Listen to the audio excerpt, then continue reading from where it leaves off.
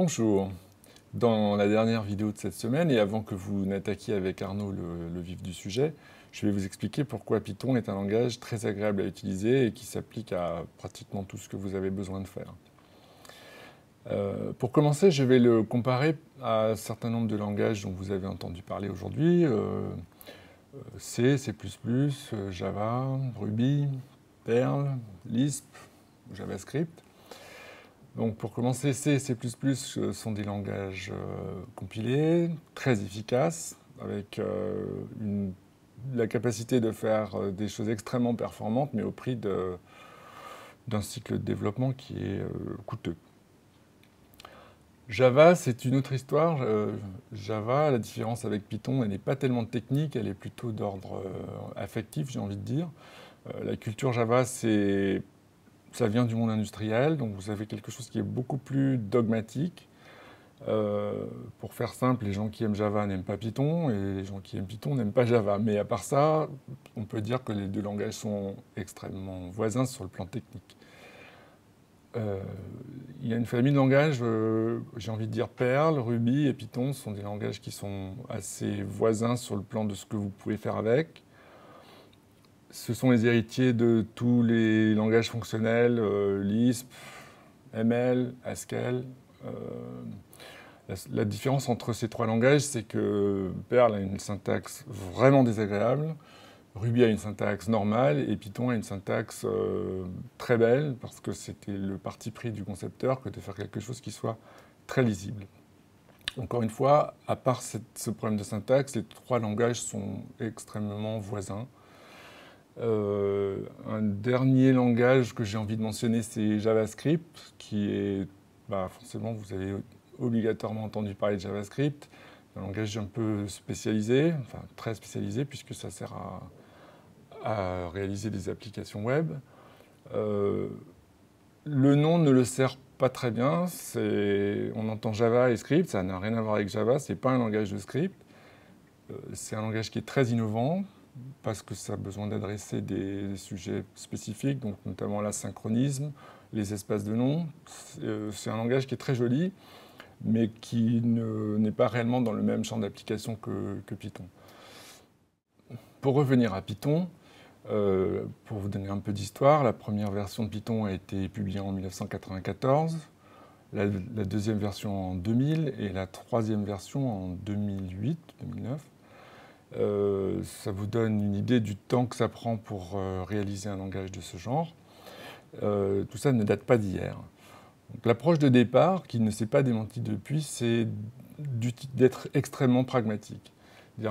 par opposition à Java, comme je l'indiquais tout à l'heure, qui est beaucoup plus dogmatique, Python, ça repose sur une philosophie qu'on appelle le zen de Python, enfin en tout cas qui s'est matérialisée par le zen de Python, dans laquelle, euh, pour résumer, on, peut dire euh, les valeurs de Python, c'est euh, élégance, simplicité et uniformité.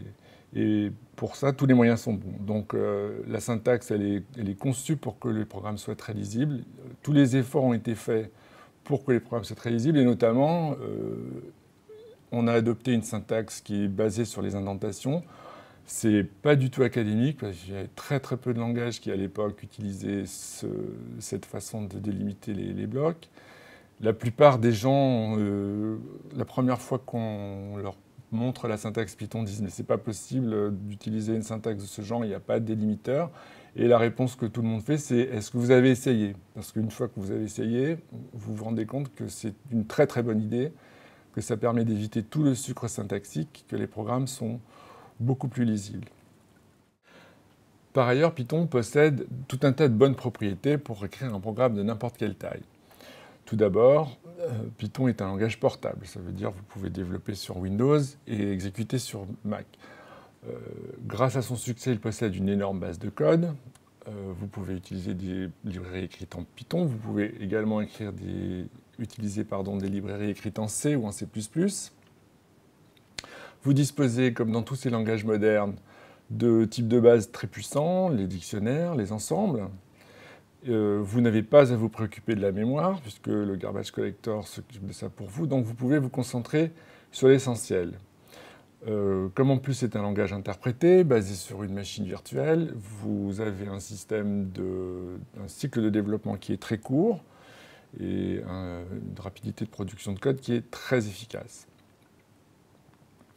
Euh, le cycle de vie du logiciel est, encore raccourci par le fait que Python prend en charge nativement la production du bytecode. Donc, contrairement à un langage comme Java, par exemple, le, cycle de production est beaucoup plus fluide et vous n'avez même pas besoin d'écrire de makefile ou de choses comme ça.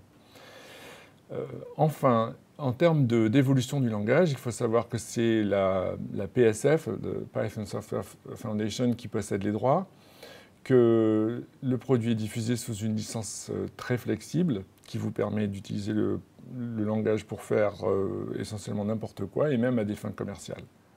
Donc pour conclure, euh, avec Python, vous avez un langage moderne, efficace, lisible et qui se prête à une application de n'importe quelle taille pour faire n'importe quoi, sauf les applications critiques qui sont très exigeantes en termes de performance ou de gestion fine de la mémoire.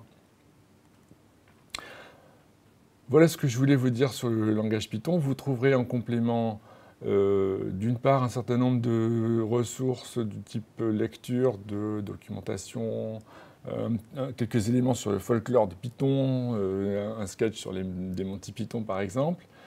je vous ai également ajouté deux compléments sur deux notions assez importantes dans les langages de programmation et sur lesquelles on reviendra dans, les semaines qui viennent.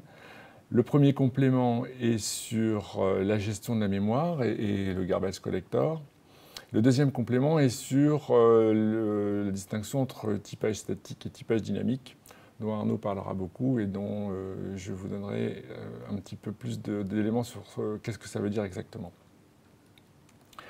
Je vous souhaite donc bonne lecture, bon travail, et je vous donne rendez-vous la semaine prochaine avec Arnaud pour rentrer dans le vif du sujet.